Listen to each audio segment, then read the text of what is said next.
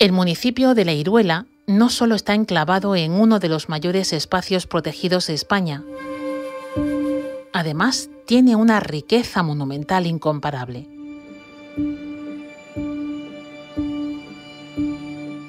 Comenzamos nuestro paseo en la calle Corredera.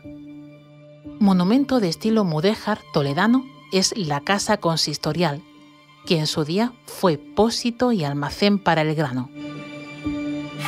Este edificio fue quemado en 1810 y más tarde, a mediados del siglo XIX, fue rehabilitado, siendo en la actualidad el Ayuntamiento de La Iruela.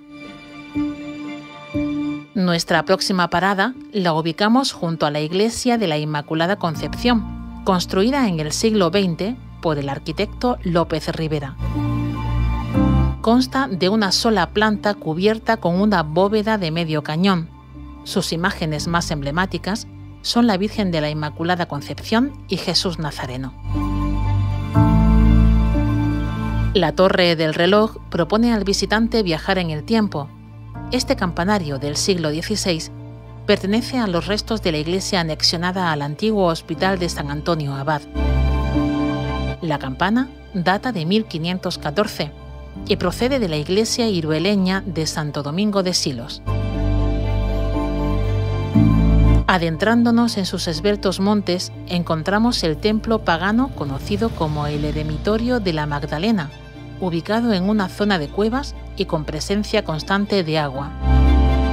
Destacan sus pinturas en el interior, una seña patrimonial del municipio. Ya de vuelta en el casco urbano, visitamos el Lavadero Municipal, un edificio del siglo XX que conserva una pila y tablas de lavar en sus alrededores, además de un curioso tejado a dos aguas.